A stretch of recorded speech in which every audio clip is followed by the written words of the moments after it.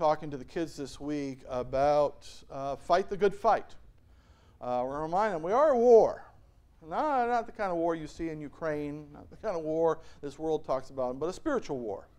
We're in a war, and for that they have to be what? Prepared. Uh, if you're going to go on vacation, how many would get prepared? If you're going to go on a job interview, how many would get prepared? If you're going to go play in a basketball game, how many would get prepared? I mean, you get prepared for everything. Should we be prepared for this?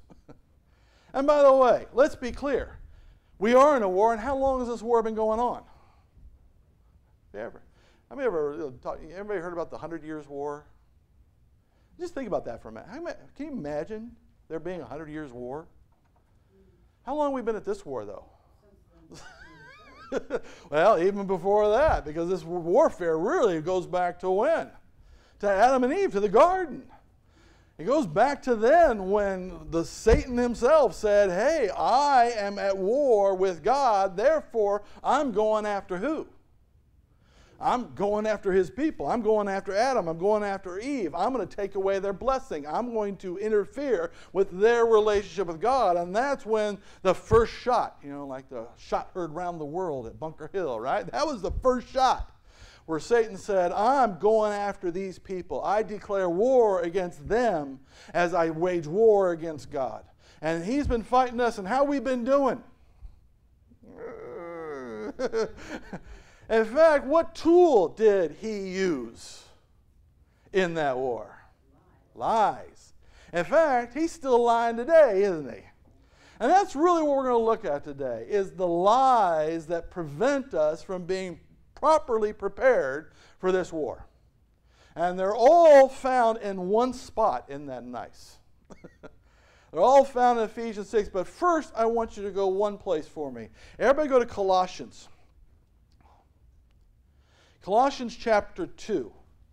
Uh, have you guys gotten there on Sunday school yet? Okay. Wasn't sure.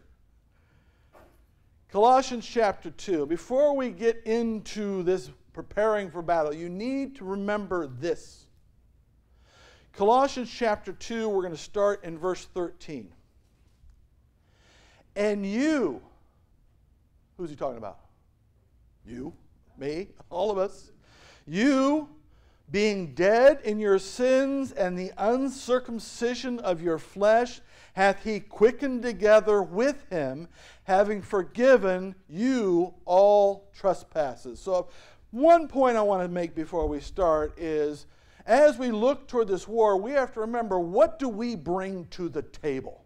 If you were going to war and said, okay, we've got 10,000 people on the other side, and you have 10,000 on your side, how many would feel pretty good? What if they said, yeah, but 9,999 of them are dead? What would you feel then?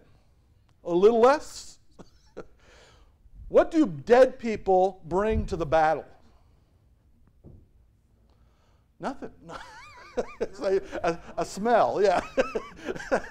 That's all they're bringing, right? They're called a casualty, right? And the worst kind of casualty, because it's not like they're wounded, they are dead, right? And that's where we are. That's what we bring to the battle is we were dead, but we are then made alive through who? Through Jesus Christ. Verse 14.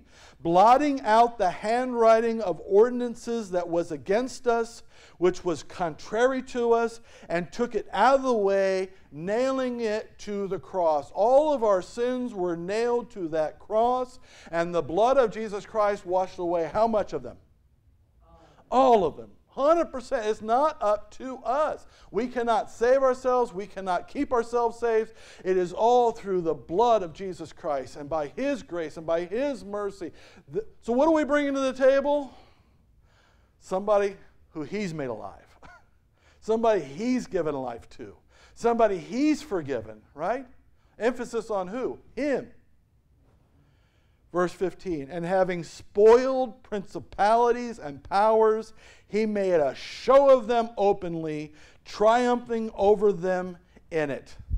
And that's, what, you know, back in that time, people were very familiar with what he just said. When you went, you were a Roman general and you went and you conquered. Conquered a land, conquered a king, conquered something, what did you then do? You brought them back, their army, their general, you brought them back and you paraded them through town. Bound and all, you brought them and paraded them through town with the horns blowing and the people yelling and screaming the name and saying, Hey, he has won. He has defeated the enemy. That's what Jesus Christ did. Openly on that cross, he said, It is what? Finished. The battle is over. The war is over. We've won through the blood of Jesus Christ. He has gotten the victory. And I want you to get this mindset, these two mindsets in you from the start. We bring nothing to the table except faith in Him. And second of all, He's already won. So as the other side sits there, and I don't know if you've ever seen movies where they got the, you know, all the people just yelling and screaming and pounding their shields and, you know, yelling and screaming, and that's what the world's doing, right? What are we doing? We, have already won. So, so do we got to be yelling and screaming back? We got to be, you know, getting ourselves all prepared for war. No, it's what? We've already won. Jesus Christ has already won, hasn't he? And openly declared it so all may know. So we've already won, and we have it through faith in Jesus Christ alone. But is there still battles? Absolutely. See, Satan doesn't just give up. He doesn't sit there and say, Oh, I'm sorry, Derek got saved, so I guess I'll leave him alone now. no, no, no, no. In fact, he says, No, this means I'm going to focus on him. Because what? Is he going to try to take away your salvation? Well, he can't do that. So, what does he want to do? He wants to make you ineffective. Yeah, wants to make you a terrible soldier for Christ wants to make you a terrible witness for Christ. Wants to sit there, wants you to quit, wants you to back off, wants you just to live a life that's pleasing to Satan, not to God, not giving him any glory. Wants you to be terrible, and that's the battle now. The battle is over what we do for Christ. And Satan is going to come after us. And I want us to look today at some lies that he will tell us to try to get us to be that way to get us to quit, to get us to do nothing, to get us to live according to the ways of this world, to do those kinds of things. And how can we prepare and make sure that doesn't happen? How many want to just right off the bat understand that it's going to be because of God, not because of us? All right? So let's go to that now. Let's go to Ephesians chapter 6. If you're in Colossians, make a quick left.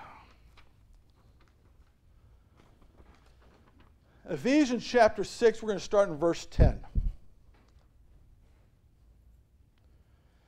And just keeping in mind, this is a letter that Paul is writing to Christians in Ephesus. Ephesus was the epicenter of the worship of Diana. In fact, when Paul went there on his the third journey, uh, basically, when he went there, there was a huge battle with the silversmiths who made the little idols for Diana. They brought his friends Gaius and Aristarchus. They brought them before the court. They, they tried to shut them down, and they have been under tremendous persecution. As he's writing this to them, they've been, they've been in the battle. They've had people die physically, they've had people beat up, thrown in prison. This has been tough times. They understand the war goes on that the world is trying to shut down the Word of God, trying to shut down the truth, trying to turn people away from the truth of the Word of God. They're trying that. And he says to them here in Ephesians chapter 6, verse 10 Finally, my brethren, be strong in the Lord and in the power of his might. Now, Satan will sit there and say, You're pretty strong. You're pretty smart. You're kind of a dynamic person. You can do it. You can defeat Satan. You can defeat that world. You can do it. That's called a what? A lie. Because he says what? We need to go and we need to be strong. Yes, be strong. In what? In the Lord. Not in ourselves, not in our wits, not in our charisma, not in our intelligence, not in our abilities and our skills. If we try to go out and battle this world with our own philosophies and our own mind and our own abilities and our own skills, frankly, we're going out unarmed. But if we go in the might of God, who can stand against it? This is like when Jesus came to Joshua, right? As they were about to go into the promised land, as they were just about to do that, he says, Hey, Moses is dead. You're in charge, Joshua. Be what? Be strong and courageous. Again, I say, be strong and very courageous. Finally, I say, be strong and courageous. The Lord is with you whithersoever you go. Be strong in who? Because frankly, if God's on your side, does it matter how many other people there are? Does it matter what the foe says? No. Be strong in the Lord. But if you try to get out there on your own, remember the Israelites when they finally said, Yeah, we'll go in the land, we'll just go on by ourselves. yeah, I know we turned against God. God says He's not going to with us, but we can go in and we'll take it. They lost miserably. Don't go on your own might. Don't go in your own strength. Go in the might of the Lord. Don't listen to Satan says you're good enough. You're strong enough. You can handle this on your own. You cannot. But can you handle it with God? Absolutely. Be strong in the Lord. Then comes the second one, verse 11. Put on the whole armor of God that you may be able to what? Stand against the wiles of the devil. And we actually looked at this last week. As Satan comes after us, what is he going to come after with us? Lies, temptations, distractions. We actually did an entire series just looking at the letter D of all the things Satan's going to come after us for, right? Distract us and take us out of the way with all kinds of lies and things like that, deceptions and things. He, he's going to come after us. And sometimes it's going to feel like we are overwhelmed and we cannot withstand this. We cannot possibly get through this. We cannot possibly do this. Well, if we are being strong in the Lord, what does God say? Not only can you, but you will. You will overcome. You will stand. Sometimes we may feel like Elijah. Remember Elijah? Especially after he had that tremendous victory on Mount Carmel against the idol worshippers of Baal and the thunder coming, lightning coming down, devouring. Everything was so wonderful. And then he got the letter from Bathsheba I'm going to kill you by tomorrow. What did I, what did I say? Oh, Bathsheba. That's a, sorry about that. Edit that out in the, in the edit. It'll, it'll be better. Jezebel. And then what? I wanted to die. He said, I quit. I'm the only one left. Everybody's against me. Everybody hates me. I might as well go eat some worms, right? Like the old song says. He wanted to quit. And Satan wants to do that too. He wants to so overwhelm us with the things going on in this world, things going on in our life, temptations in this world, and failures that we've done, and mistakes we have made, and the guilt that can overcome. And He wants us to take all of that on, put it on our own shoulders, and say, You can't possibly win. But what do we just read? Who's already won? Jesus Christ has already won. How many of those past failures and mistakes that we've made has God already paid for? All of them. yeah, and the future ones. And, and is he going to be able to keep us from temptation? Is he going to be able to keep, is he strong enough to help us and be able to stand against the wiles of the devil? Can he do that? Because Satan's going to see, he's going to keep piling on, piling on, piling on. But remember, God is with you wherever you go. And will he ever allow Satan to pile too much? No. He will protect you, He will help you, and you will stand. The other thing He wants to do, if He can't get you to quit, He wants you to say, well, that's just the way it is. In fact, why don't we just start going back to the ways of the world? Why don't we just start looking for the pleasures of this world? Why don't we just go back and do that? Kind of like the Israelites. Remember the Israelites when they came out of Egypt? By whose power and whose might did they come out of Egypt? God's hand, right? Who got them across that Red Sea? God did. But then they started having problems. No water, no food. Oh, yeah, yeah, I want this, I want the onions. I mean, you know. And what was their temptation? Oh, we can't do this. We can't get there. We can't, we can't make it across this wilderness. We can't get there. We might as well go back. Even when they got to the promised land, for two years, God had taken care of everything they needed. Every single time. Against every enemy, against everything. They got there and they saw what was in that land. There's giants in the land. There are gigantic cities in this land. We cannot do it. And therefore they said, let's go back. Satan wants to do the same. He wants to overwhelm you so you quit or you go back. Yeah? And that's what it would do, wouldn't it? Nullify our light, our witness. He wants to do that. What, what do we know, though? If we have His strength, if we have on His armor, we can withstand, can't we? We can withstand anything He throws at us as long as we are standing in His might, God's might, and putting on His armor, which we'll look at again in a minute. So don't believe the lie that it's all too much. You can't make it. You'll never be able to stand. In God, can we stand firm? Yeah. Absolutely. Let's go to verse 12. Lie number three. For we wrestle not against flesh and blood, but against principalities, against powers, against the rulers of the darkness of this world, against spiritual wickedness in high places. This is a big deal nowadays, folks. Who is the fight against? It's not against people. And boy, that's a, that is Satan's great trick right now. If I can get all the Christians to fight against Muslims or Presbyterians, Methodists, Catholics, if I can get them fighting amongst themselves and battling each other over even this, you know, color of the carpet or whether we should have musical instruments or what songs we can sing, if I can get them fighting against Muslims and Mormons and Jews and people out there, if I can get them fighting against atheists, I can get them, I can get them in a culture war. I can get them hating uh, homosexuals and the, pornographers and things like that. I got them fighting against this and I got them fighting against that. Who are we not fighting? The enemy. Who's the enemy?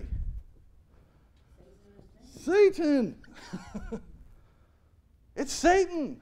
He's the one attacking. He's the one. All the rest of that, all those other people that he wants us fighting. He wants us fighting against governments. He wants us fighting against parties, against people. He wants to say they're the enemy. We need to fight against them. We need to destroy them. No. If they are a person doing this, is our job to destroy them? Kill them? Saw a very disturbing video this week that Rick sent me. It was a bunch of Christians at a rally chanting this promise that were reading off the board. And boy, whenever it said we need to destroy, we need to take out, we need to remove, we need to hurt. These people, they just got wild. Oh, yes, that's our job. We need to take them out. We need to take over. We need to kill. We need to destroy. We need to get rid of them. We need to eliminate them. We need to get them out. Every single person they were talking about is a what? Human being created by God that Jesus Christ died for and loves. Who are we fighting against? We're fighting against the one who has them under their control. We're fighting the one who is making their life and lying to them and cheating them and doing those things. We should look at those people with love and saying, I want the best for you. I want you to know Jesus Christ. I don't hate you. I'm not, I'm not threatened by you either because I got who on my side? I got God on my side. I'm not threatened by you. I love you. And I'm going to show you love. I don't care what you believe. I don't care what your politics are. I don't care what your um, proclivities are. I don't care what your sins are because how many here are sinners? How many here are saved by the blood of Jesus Christ? Who else can be? Anybody.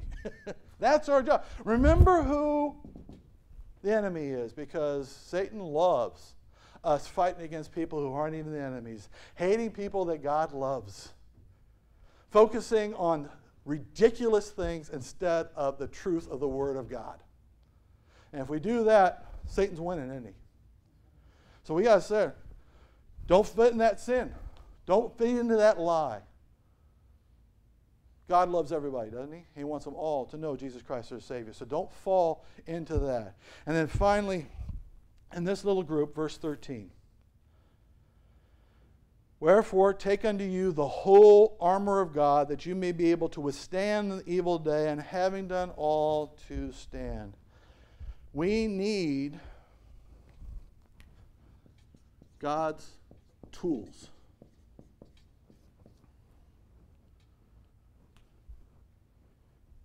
If you were going to go play football, how many would wear the right equipment?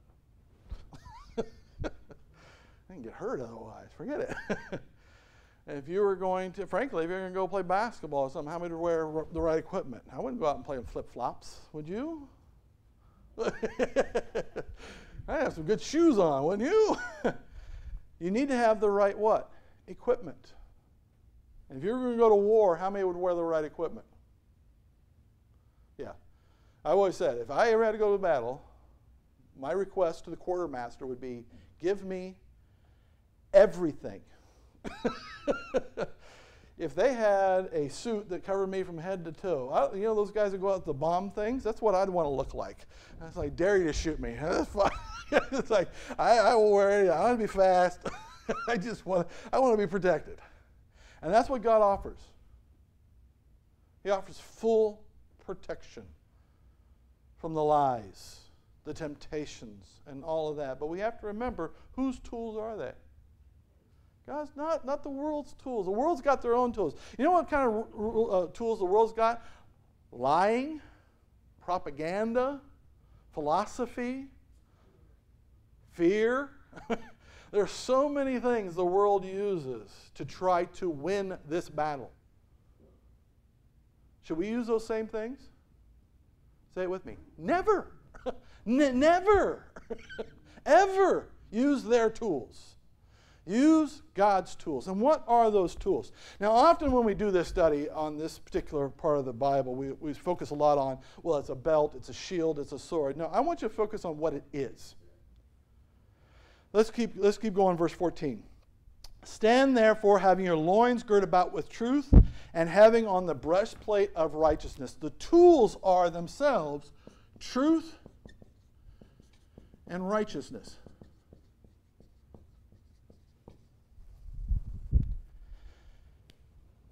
And when you're in a battle, there is very little more powerful than those two things. If you're in an argument or people are attacking you for what you believe, if you are standing on truth and doing what is righteous and what is right, what can they say? Nothing. they can sit there and they keep lying and lying and lying. And he, I, have done this before. I've had people just sit there and just yell and scream and say this, that, and the other thing, this lie after this lie after this lie, and I believe this, and I want to know this, and I believe, you know, just write down and I put at the end. You know my response to that? Jesus Christ loved you, died for you, and if you ask him, he will save you.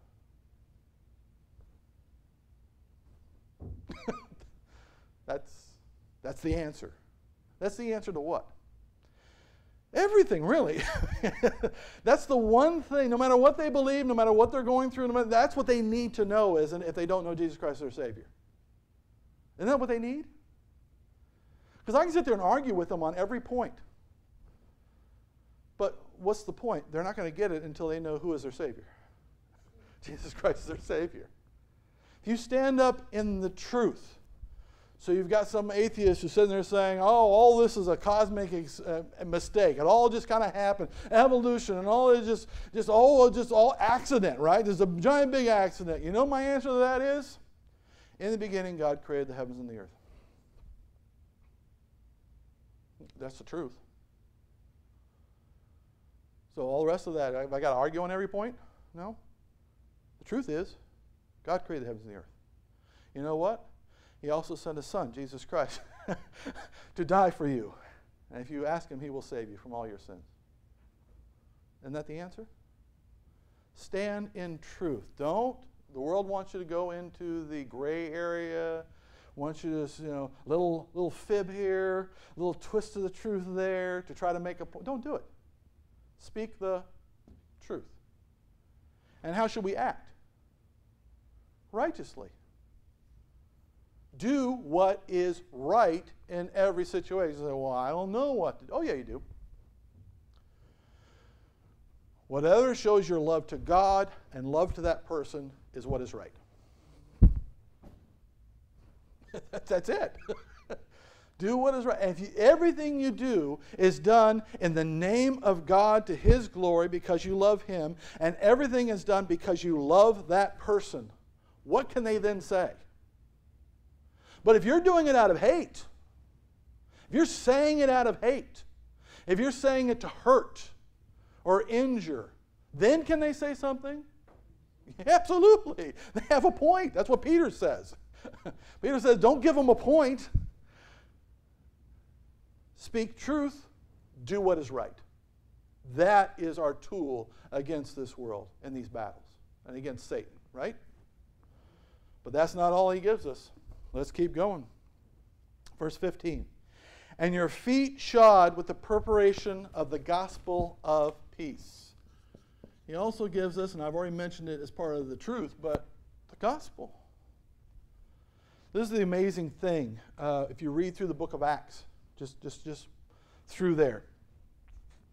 All the times Peter and John and Paul, of course, and Barnabas and Silas, whenever they were attacked, lied about, attacked by Jews sometimes, sometimes by Gentile groups, whatever it was. What was their response? Every single time. Jesus Christ is God who came and died for the sins of the world, and if you ask him to save you, he will save you. They gave them the what? Gospel. They preached Jesus. They didn't, they didn't preach politics. They didn't preach economic theory. They didn't preach hate. They preached the gospel. To whom? Anybody. Everybody.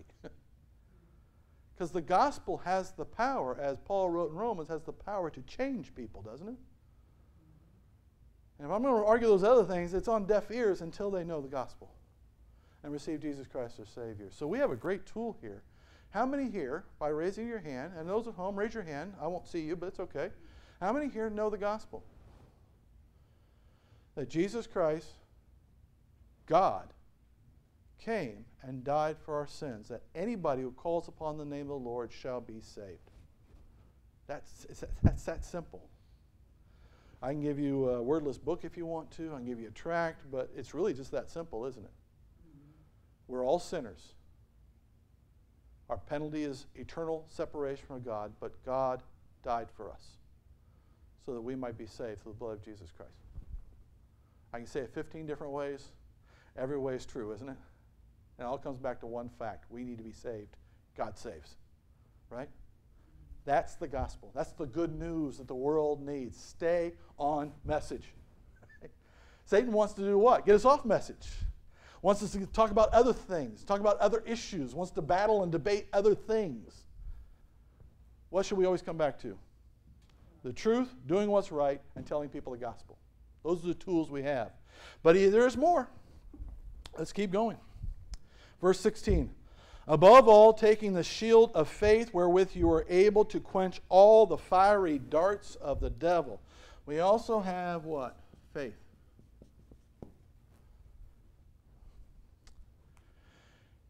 And this tool is primarily for us. Because as Satan's attacking us, as the world's attacking us, we have this little word called doubt can come into our head. Maybe I'm not saved. Maybe I'm not good enough. Maybe uh, I can't withstand this. Maybe they're right. Maybe it's, that's true. Maybe by faith we can go back to what? The truth. By faith, we can go back to what? The gospel. By faith in God, knowing that He is truth. He is the way, the truth, and the life. Is who He is. He loves us. He will never let us go. He will never depart from us. We are His children. We don't have a, an, a fear of Him ever turning against us. We are His children and joint heirs with Jesus Christ. We are blessed in Him. By His work, we are saved.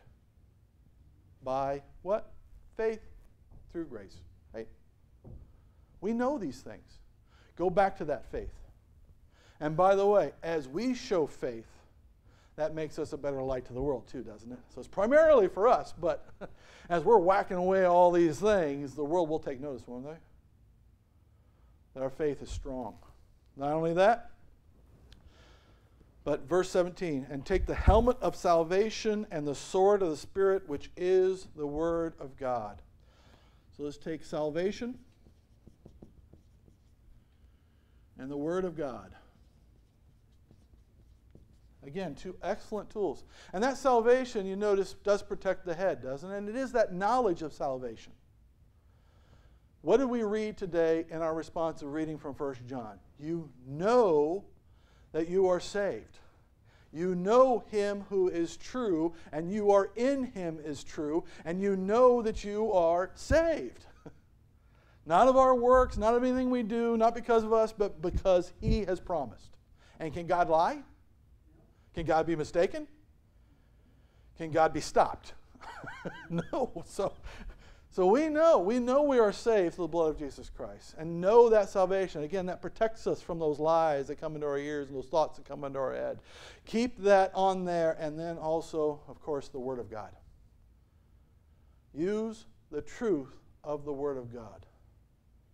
Ever know, don't know how to respond to somebody? Use the Bible.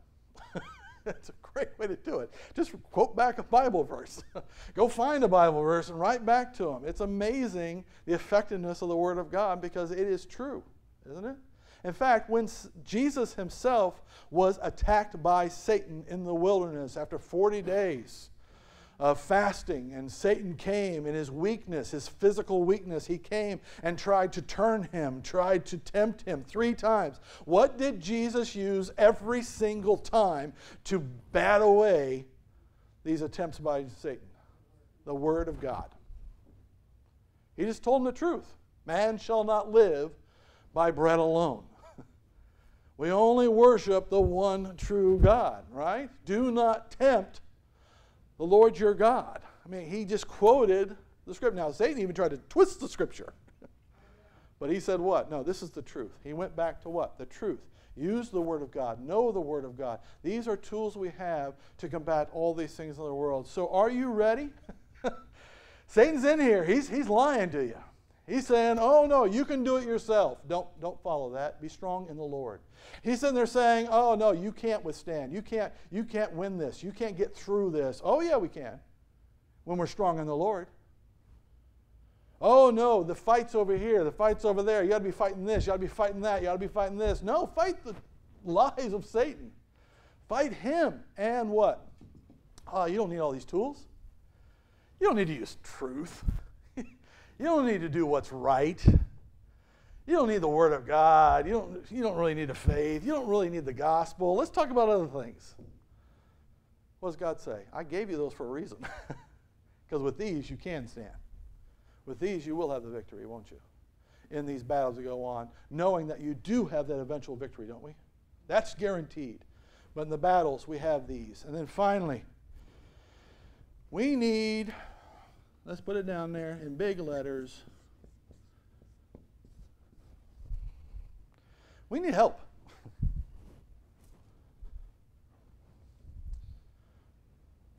There's an old saying there, there are no atheists in foxholes.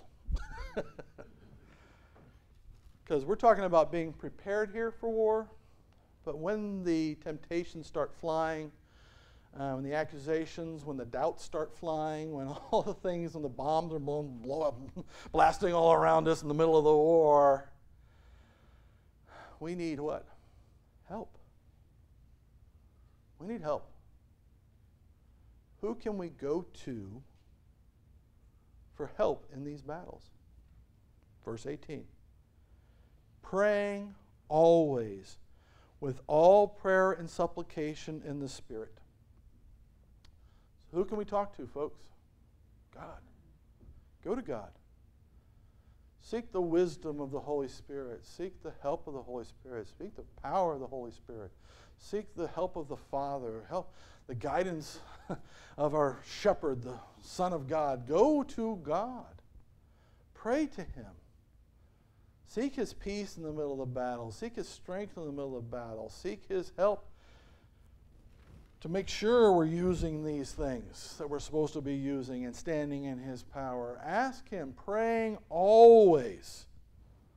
Always, in good times and bad, always praying, praying. But then he also says this, and watching thereunto with all perseverance and supplication for one another. So not only should we be going to him for help for us, but we ought to be going to him for help to who? Others, and then praying for us, and us helping each other in the middle of the battle. You're not on your own. There is no situation where God's going to sit there and say, okay, you, I need you to take on the world. Go. Wham. Good luck. He is with us, and He has also surrounded us with a team, right? Fellow soldiers, fellow combatants who have the same general, the same word, the same equipment, the same goal, the same enemy. And we need to help each other. And when you see one falling down, when you see one tripping up, when you see one harmed, what do you do? Pray for them, help them, go, encourage them, right? God will get us through, but the battles can be intense. Help each other. Pray for one another. Pray to God for help because we need help, don't we? Even with all this, we need help. So keep going to Him. So, as we prepare for war, let's make sure we're not listening to the lies. Satan, I don't mind saying this, is a dirty, rotten liar. Okay? Just that's fact. so, make sure you're not listening to these lies. That somehow you can do it on your own, or you don't need God, or you don't need that, or, you know, I'm fighting this over here. No. This is the truth. We are strong in the Lord. We will win, and we can withstand the onslaught with God's help. We are fighting against Satan, not against the things of this world, and we need to have his tools, using them constantly, Keep them about you. Keep them in your mind and in your heart. And we need help. So go to Him in prayer. Pray for one another. Help one another as we go along. And then we will have great success, won't we? Then we'll be able to get through this.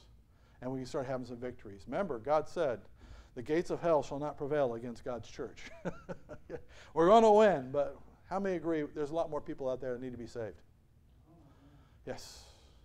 There are a lot of societies out there that need to be changed. Yeah, a lot of hearts need to be changed. We can do that when we're fighting. But to do that, we got to be prepared first of all. Make sure we're doing it the right way. Let's pray.